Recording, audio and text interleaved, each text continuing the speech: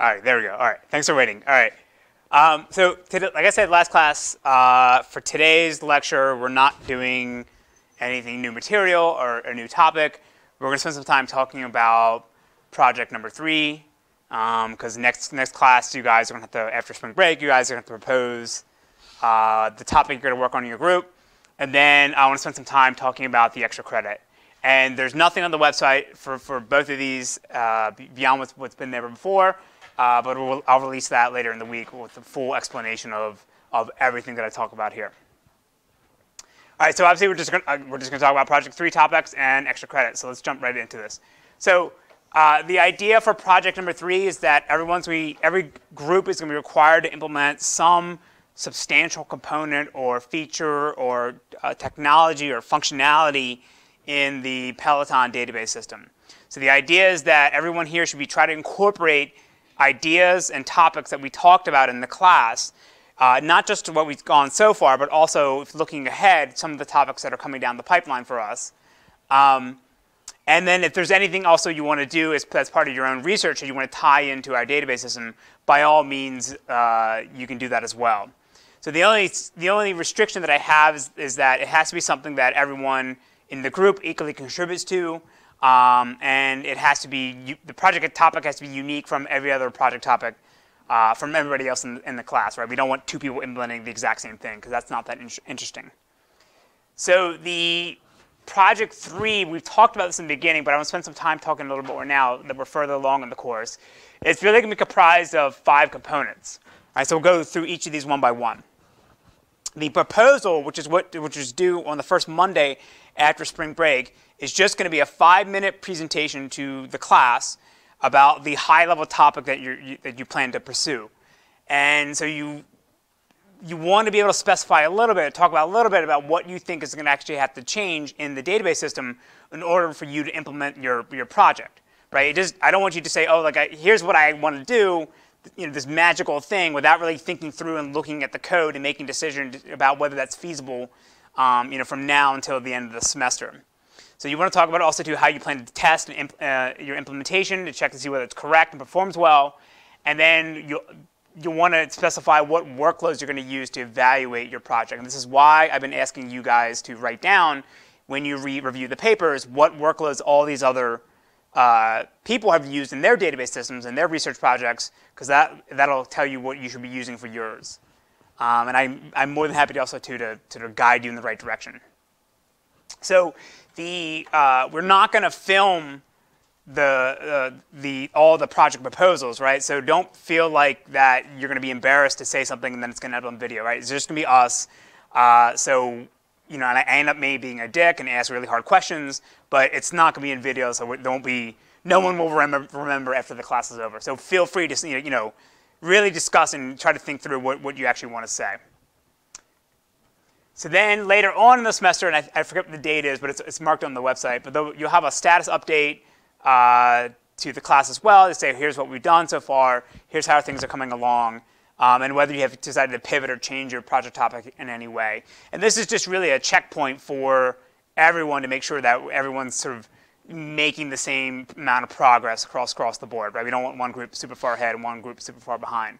Uh, and I plan to you know, meet with you regularly as needed to make sure that you're making progress as well. But this is just sort of a update to the, the entire class. So now when we get to the end of the semester, uh, and we actually want to start turning in our code, there's three additional things we're going to have to do, or three, three steps in part of this. The first is that we're going to require every group to get paired up with another group to do a code review. And we're going to set up a website uh, through GitHub. Uh, there's, a, there's, websites that can leverage GitHub's um, you know, issue tracking services, but can, we can allow you to do a code review and provide feedback to another group and say what they should or should not be doing to, to you know, update their code or maybe improve their implementation.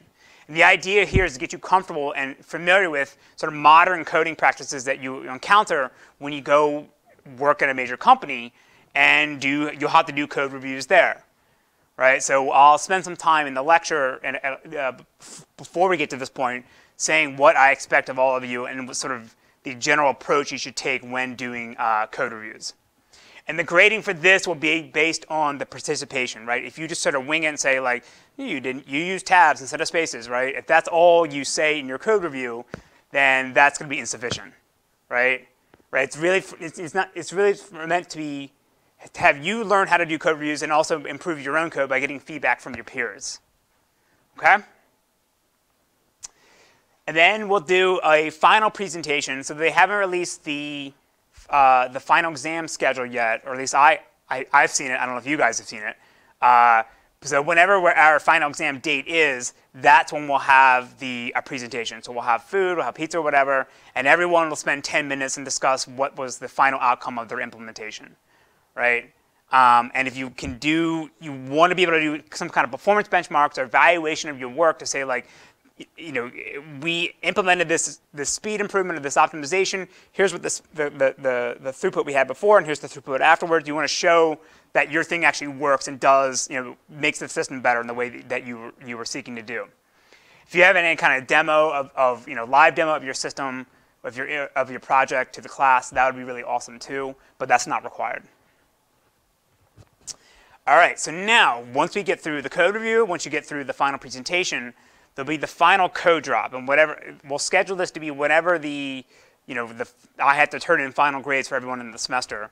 But the basic idea is that everybody, everybody's project is not considered done and complete until we have a pull request from you in GitHub that can merge cleanly into the master branch, right? And so this, this pull request to have to include also the, uh, not just the implementation, but also the, the test cases, as well as documentation about what your feature is or what your project is, how it can be used, and what are some trade-offs that you make in, made in the implementation, what are some future work things you'd want to have if you, had more time to, to, to, work on your project. Again, these are all the things we expect from you in, in order to say that your project is done. So now I realize when you do pull requests and you want to do a merge on the master, if the project, if there's somebody else does a bunch of changes and that gets merged in, your merge will no long, could possibly no longer merge in cleanly as, uh, because somebody else came in before you. So what we'll do to make this fair, we'll just randomly select the merge order for every single group uh, so that you just have to make sure your, your merge you know, can merge in the master that came before you. Right? Because what we don't want is everyone merging on the current master, and then as we start merging all the pull requests in, we can't cleanly merge another groups. Right? So we'll just do this in random order, and again, I will, I will be um, lenient in, you know, for like the last group if there's if they have problems, right? The first person should be the first group that gets you know, the first slot has the easiest job, right? They just merge on the master, uh, so I'll be a bit more strict on them. But if you're at the end, again, I, um, I, I we, we can help out. Okay, any questions about this? And again, I'll write out exactly what I mean for all these steps and put post it on the website later this week. All right, so now I want to spend some time talking about some potential project topics that you guys could pursue uh, in, you know, for your project three. So this is by no means an exhaustive list. These are just some, some, some ideas that, I've, that Joy and I have thought through that we think might be kind of interesting for you guys to, to look at and, and try out. So again, if there's something that you're doing in your own research that you want to apply to our, uh, to our, our system, right? So Joy is really interested in, in like pornography. So if you want to do something with pornography in our database system like Joy that wants to, then by all means you can go ahead and do that. Right? So again, this is not an exhaustive list. If there's something else that you want to pursue, you know, talk with me and we can see whether it's, it's, it's right for, the, for project three. So I'm going to go through each of these one by one, just say a little bit about what it is, and then what I think you'll have to actually have to do in the system to, to, to complete the project or make it work, um, and for some of them, I'll say like, you know, a stretch goal or bonus goal will be like, hey, look, if you have enough time, here's something else you could, you could do as well. That would be kind of cool. So again, stop me as we go along if you have any questions. All right, so the first one is probably, I think, the most interesting and probably the most important one, is that the, our current database system, since we're built on top of Postgres, we're, we're using a lot of Postgres internals, it still relies on the Postgres query planner and optimizer uh, which is inherently disk-based, right? A, the query planner has this catalog of statistics, and it's using that to determine what the best query plan it is for a particular query. And it's, and it's the cost model is using for its internals to make a decision about whether one plan is better than another is based on the number of disk blocks it has to read, right? which obviously doesn't make sense if you have an in-memory database because there's no disk I/O. So the other issue we have is that the Postgres plan and the Peloton plan are not exactly compatible. So what happens is the Postgres query planner generates some query plan tree, and then we have these transform function that converts it to what our plan should look like. Right? And so it's not, that's not a huge major overhead, but it's, non, it's, it's, it's non-trivial. So for this project, uh, I think a really cool topic would be to actually implement a new in-memory uh, database system query planner and optimizer uh, that can emit directly the Peloton plans. So then, then we, we can get rid of the Postgres stuff entirely. And so what I think would be kind of cool about this is that there's a lot of um, newer features in C++11, like Lambda functions, that this query optimizer could use, and it would be a sort of a better, more flexible implementation than sort of the standard heuristic uh, approach that the older systems like Postgres use. Um, there's also other sort of modern optimization, optimization algorithms you can consider as well.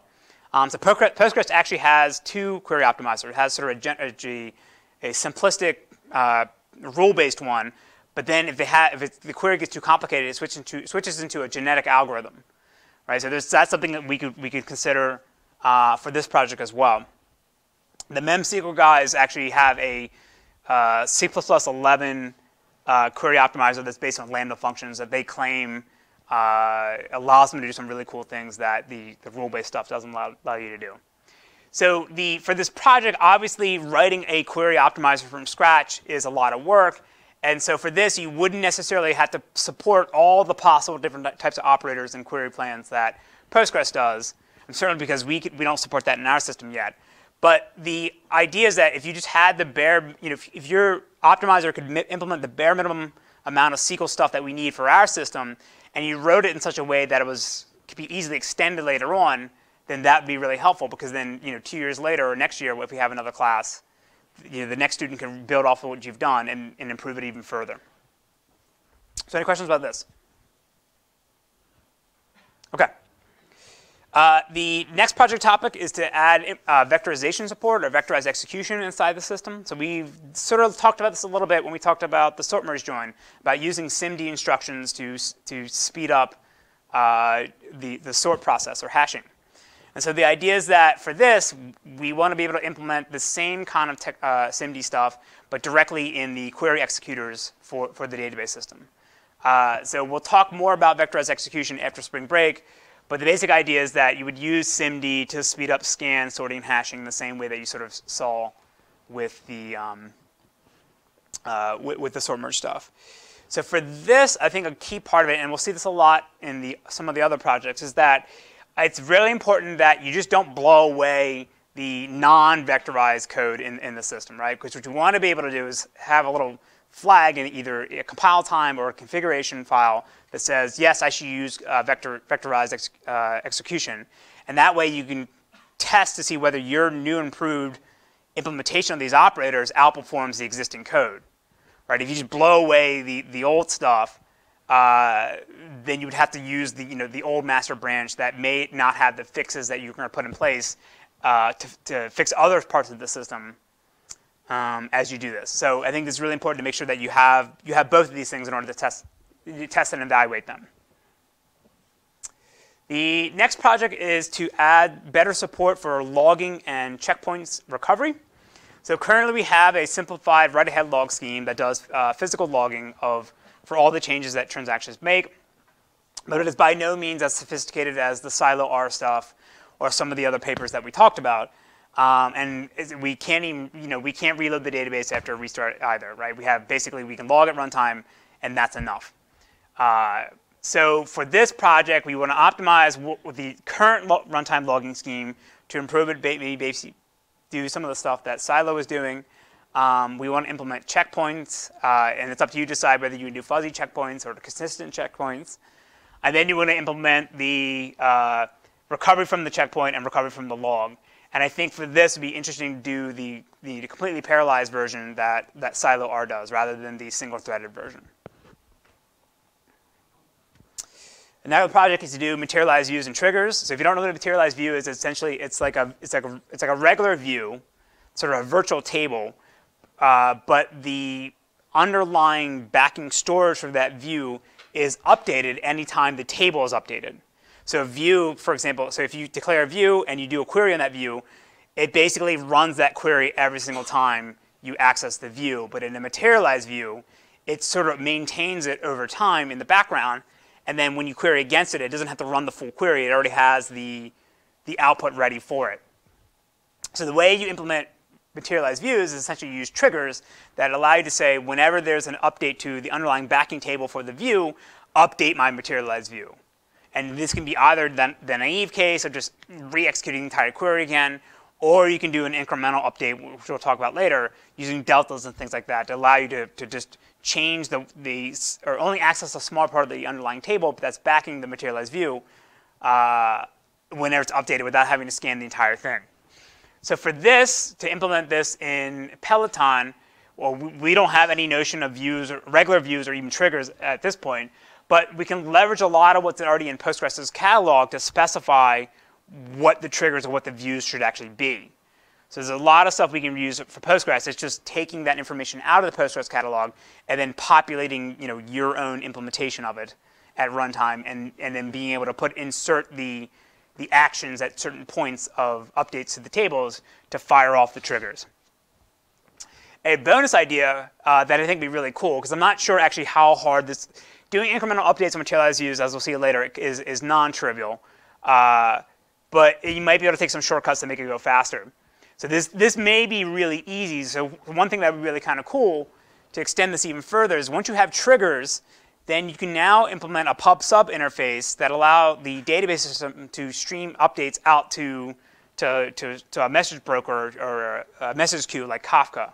So you think of something like you have your front-end OLTP database system that's running Peloton, you insert new tuples into it, and then there's a pub sub interface that gets fired off with a trigger that allows you to publish updates out to something like Kafka downstream. That's a very common uh, implementation or architecture used in sort of very large-scale applications. So I would consider this be this would be kind of a bonus thing. That I think I think would be pretty cool. And again, it would, it would cause you to become familiar with not only Postgres' catalogs and not only how to implement triggers, but also like an another system that's widely used uh, in industry. Uh, the next project is to do concurrent schema changes. So it's very important in your database system to be able to do alter table and add and drop columns, add tables, change the uh, change the um, the layout of tables, change the ordering of columns, things like that. And we obviously want to do this, do apply these changes while we continue to execute transactions and queries. So for this project, we want to be able to implement these concurrent schema changes with, with having minimal overhead or minimal impact on the runtime execution of queries. Right now, I don't think we can do any add table or we can't do any alter table in our system. So this is basically implementing everything from scratch. But what I think is cool about this in a main memory database system using our tile-based architecture is that you can do lazy updates or lazy propagation of schema changes to the database system that's not quite possible in other systems. So when you call alter table in something like Postgres uh, it, it, or MySQL, it scans through every single tuple and every single table and applies the change. But in our case, say we add a column, uh, we don't necessarily have to go and modify the, the, the physical storage of the tuples in their tiles. We can just put a little flag to say, hey, yeah, you added this column, but this tile doesn't have it. So if anybody tries to access it, use the default value. Or if they do a delete a column, rather than going through and applying the change right away, you just say, you know, in the same thing, if the head of the tile group or head of the tile, this column is deleted, so don't let anybody try to access it. And then over time, as you as you as you continue to access uh, data or reorganize the tiles, you can then apply the changes. So this would be actually a really cool project um, that allowed you to get you know a significant speed up over what the existing systems uh, can do today. And obviously, what we need what we'll need is a to implement our own internal catalog, reusing as much as we can from Postgres to keep track of the different schema versions that are out there. All right, the next project is to implement constraints. So constraints are things like, yeah, sorry.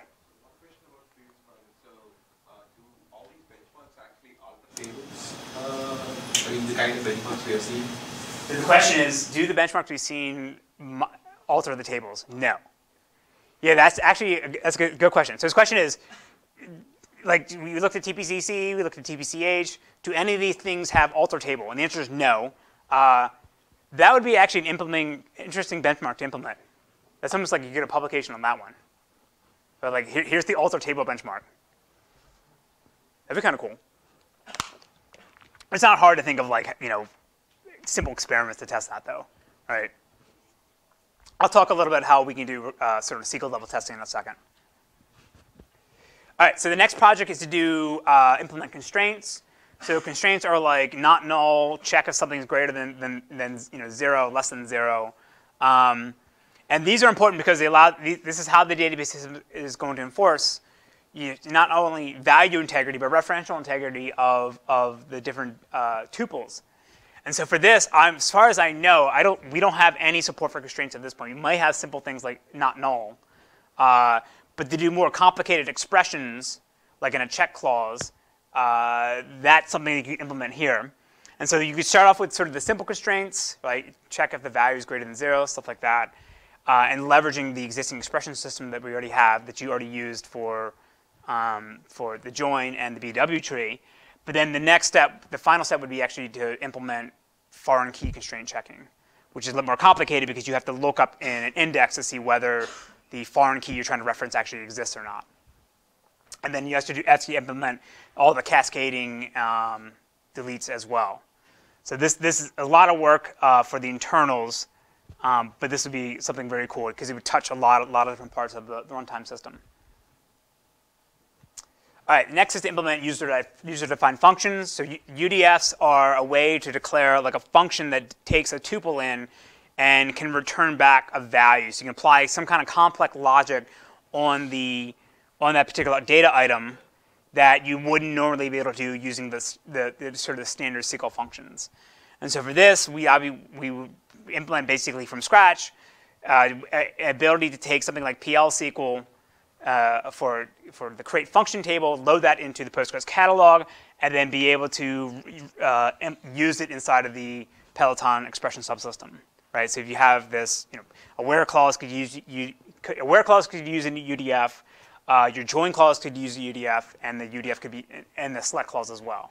So be, be able to use the UDF in all different parts of the system. And I think that if you just get it in the expression subsystem in the correct way, it just automatically can be used everywhere else. Because we, we, we, we reuse it, we use the same subsystem everywhere. All right, the next project is to enhance indexes. So we are still up in the air for our system, what is the best index to use? Right, so we, we've talked about skip lists, we talked about BW trees, we talked about the ART index. We don't know what we want to use just yet. Uh, but the BW tree project is a good start for, for this project. So the idea would be you've already implemented the probably I think this, the second most complicated index, the BW tree. The B plus the concur B plus tree is more complicated. Uh, but the idea is the now implement the other the other guys and do an evaluation, do a benchmarking, and try to understand which one actually performs the best. Um, for this one, we may have to modify the current index API that we have in Peloton to be able to incorporate all, all of these things. Um, and then the, the goal would be maybe at the end of the semester, whatever one we think is the best for all possible different workloads, we just plop that in there, and then whatever index you build is the one we actually want to use. And for this, another cool thing, if this is, turns out to be really simple, if, like if you ignore the B plus tree and just do these other, other two guys, uh, a, a, bonus project or a stretch goal would be to actually implement an inverted index that allows you to do full text queries. We're not really going to talk about inverted indexes in this, in this, class, but the basic idea is like, in order to speed up a like command or, or string value expression, you can do a inverted index um, that maps words to tuples or, or strings to in, in, individual strings in a text field to tuples. And then it's really fast to look at that. And but how do you maintain this while you execute transactions at the same time is non-trivial. All right, so in next class, or, or, after you guys do the proposals, we'll start the lecture on database compression. The basic idea here is we're going to allow the database system to compress parts of the, of, of the database in memory to reduce the amount of storage overhead it has for that data, but as well as re reduce the amount of data we have to process while we execute queries. So we already saw this when we talked about the bitmap indexes for SQL Server. Right? They use value encoding, delta, and then we talked about delta encoding, dictionary encoding, and then sort of the naive block compression where you just take a block of memory and run gzip or snappy on it. So the idea was to implement all these different schemes in the system and evaluate them for different workloads and see how well they perform.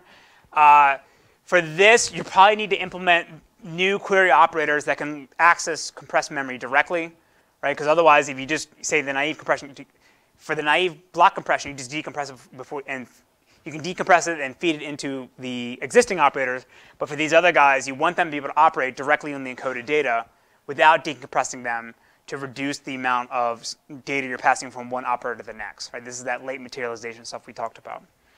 A bonus project or stretch goal would be actually implement logic in the database system, either based on heuristics or some kind of machine learning uh, algorithm that can figure out what would be the ideal compression scheme to use for different parts of the database based on how we observe queries accessing it.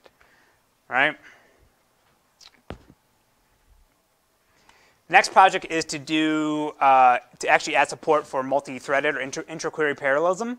Um, so currently, since we're, we're we are still leveraging bits and pieces of Postgres, Postgres can only execute can only execute use one thread per query, and we have that same restriction. Um, so we can only have one one single worker thread can operate on a transaction in the query at, as it goes along. So this would be like to be able to have intra-query parallelism, sort of the same thing we saw in Hyper with Morsel, the, the Morsel-driven architecture, where for a single query, we can break it up, its, its, its sort of subqueries up, and have them run on different threads at the same time, and then we can combine the result at the end to produce a single answer. For this, you'd have to implement the exchange operators to modify the query plans, and that's sort of the standard approach that everybody does. So for this as well, another thing that a bonus project would be to actually implement the, the Morsel NUMA-aware partitioning or data placement that they use to explicitly put blocks of data on, on, one socket versus another, and then know how to schedule threads to only operate on, on, on local data. And for this, we need to update or add additional information to our internal catalog that says, you know, this block for this table is located at this socket, and therefore I know what threads can go and access it. The uh, the last couple project, the last project is to do integrated memcache. If you don't know what memcache is, it's sort of the most common caching system that's used in sort of large-scale applications. Um, you can think of it like as, as an in-memory key value store where you can just call get and set on, on objects. And the idea is that when you, uh, instead of running a query against your database, you look in memcache to see whether the, you know, based on the primary key, whether the object you want is already there. And then the problem with memcache, though, is that when a application modifies an object, it has to go invalidate the, the cached object in memcache to make sure that nobody reads stale data. So a lot of times what people actually want is the ability to use a memcache-like API directly on the database system and then completely avoid having to uh, maintain the, the, the cache in, in, the separate memcache system. Um, this is actually something that the uh, hedge funds want to use and uh, a lot of people can do this. A lot of people do this, use this in MySQL as well, because MySQL supports a Memcache protocol directly in, in, in InnoDB. So the idea is that instead of calling, you know, select star from table or primary key equals something, you just call get with the key, and the internal system can just go and get the actual object as if it was executing a query. So for this, you'd want to implement the Memcache protocol in a network handler thread inside of, our, inside of our database system. And then based on whether it's a get or a put or a delete, then you would invoke a prepared statement query that would then just do the same operation. So from the outside, it looks like Memcache, but internally, you're just executing these sort of one query transactions that have been predefined to go do the thing you need to do.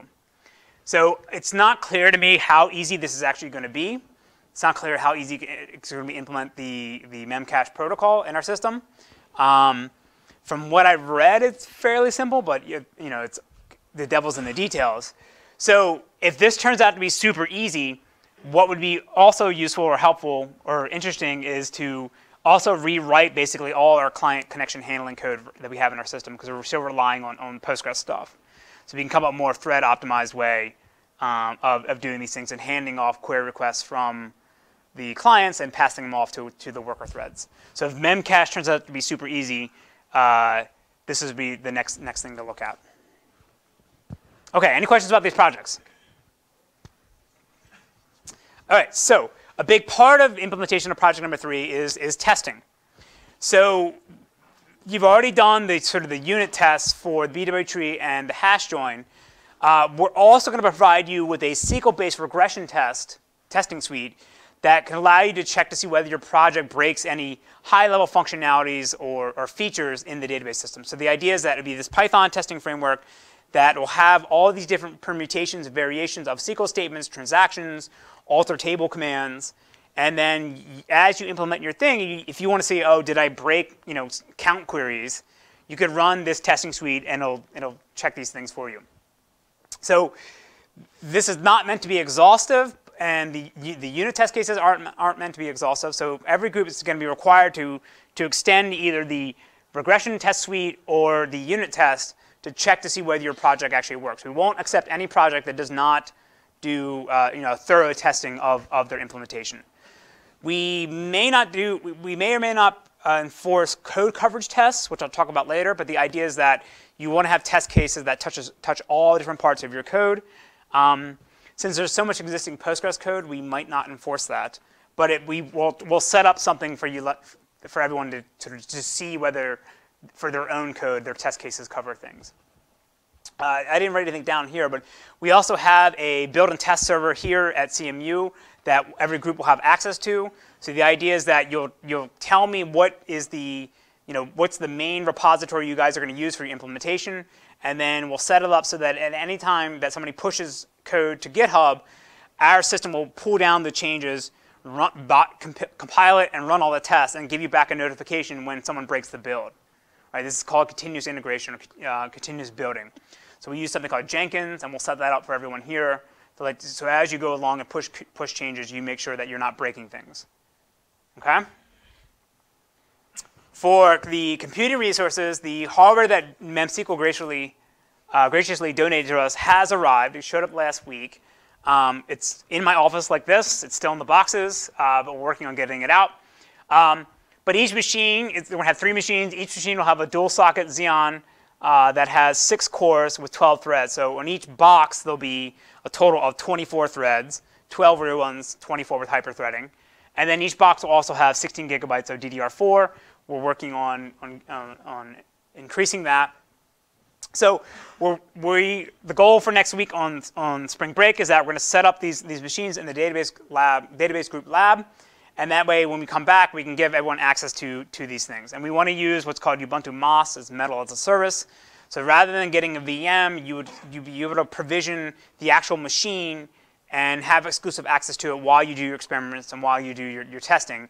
And then when you're done, you would release it, and then the next group can come along and, and use it. Okay, and so if anybody has experience setting up Ubuntu MAAS, please email us uh, because this is the first time we're doing it. We're to make sure that we, we do it right.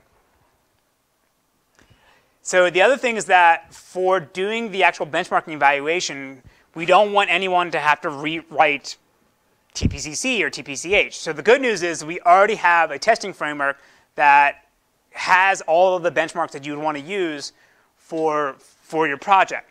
So it's called OLTP Bench. This is something that I wrote with other people when I was in grad school. Um, it's a Java-based framework that has 15 benchmarks already built in, ready to go. So we have mostly OLTP benchmarks, so TPCC, TATP, YCSB, Wikipedia, uh, Twitter, ePinions, a bunch of other ones. And then we have only two OLAP ones, CH benchmark, which is from the Hyper guys, which is just a simplified version of TPCH, and then TPCH benchmark is the one you guys have been seeing. So we don't support TPCDS at this point. But the idea is I don't want anybody to have to write TPCC themselves, right? I wrote it five times when I was in grad school.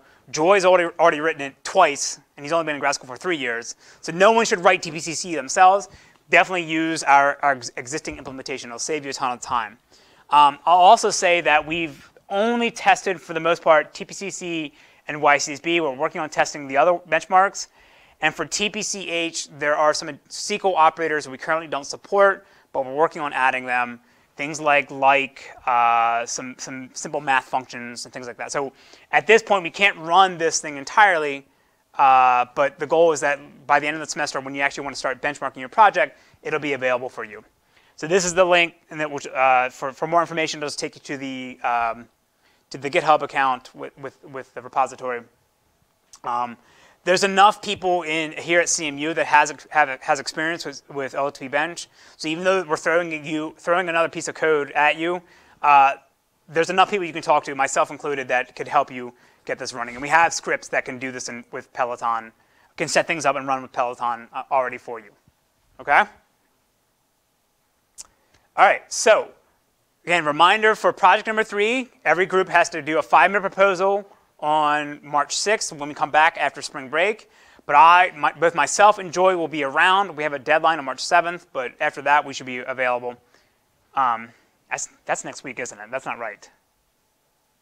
So it should be, what is it? It should be the 13th. Um, so for March 13th, we'll have, we'll do the proposal, and um, still not on ready either. Like, what is, what is today's date?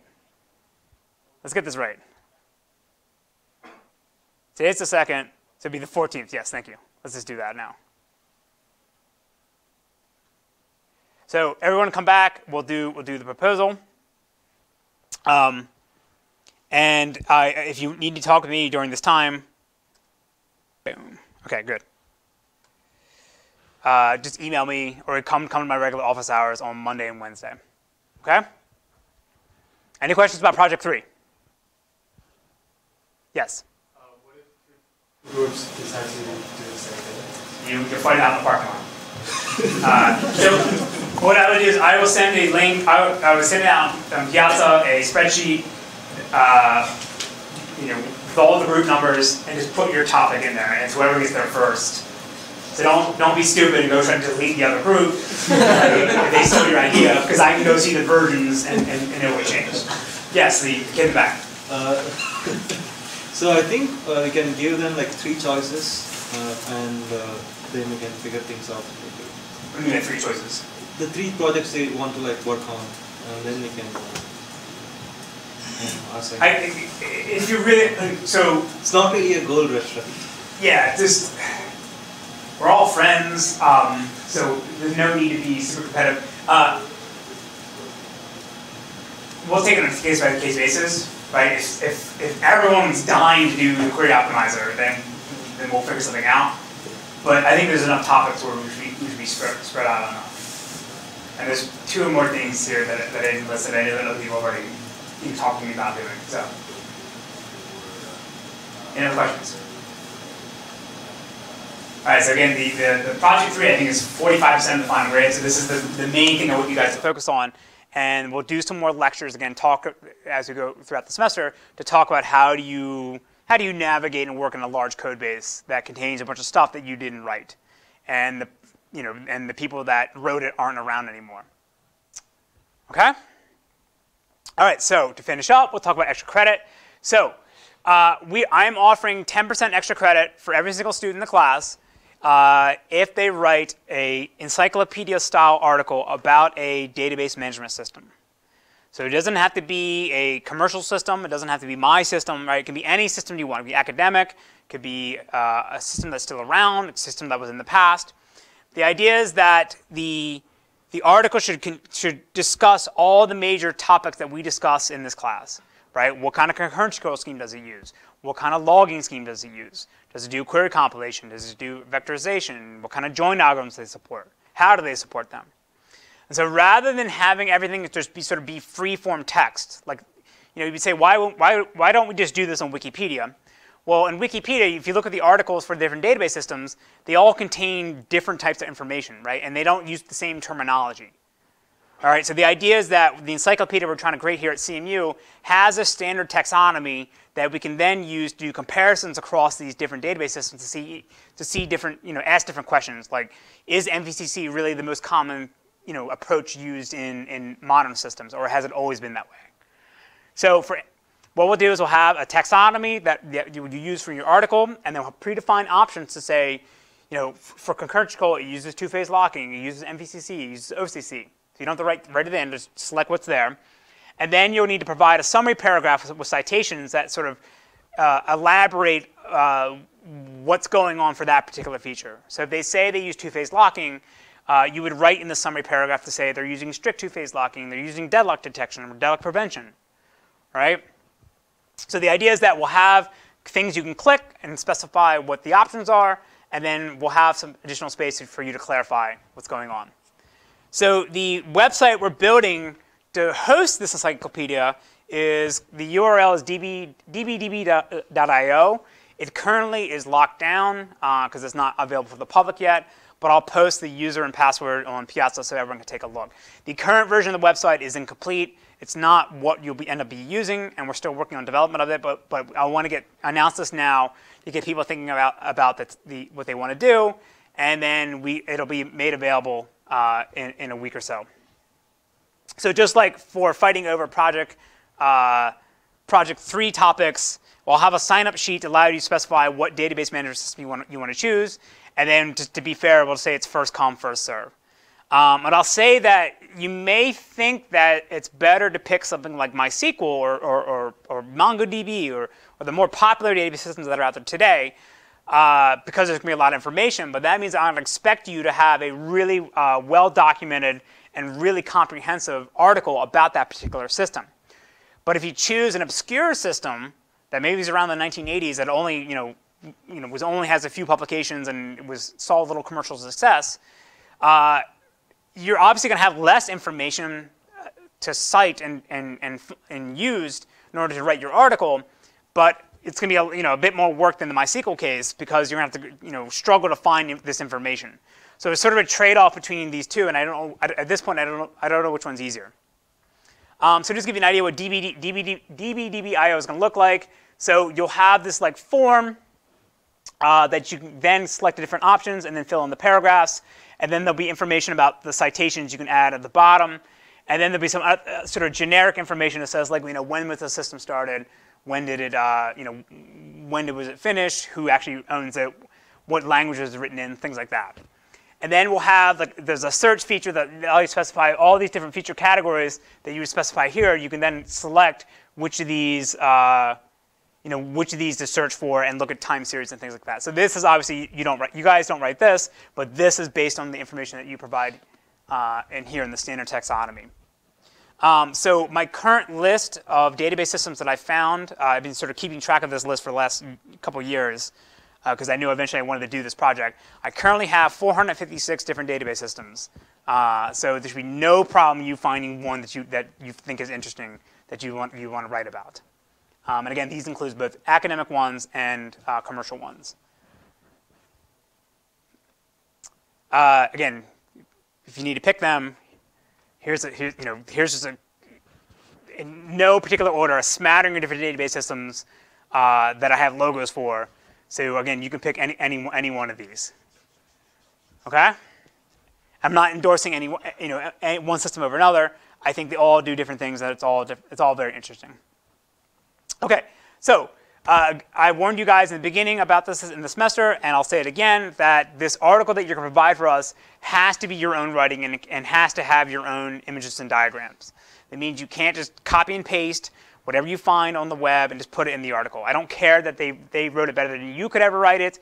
That's not the, what we do here at CMU. That's considered plagiarism, so everything has to be in your own words. And you have to provide proper attributions and uh, citations for anything that, that you're referencing in your article.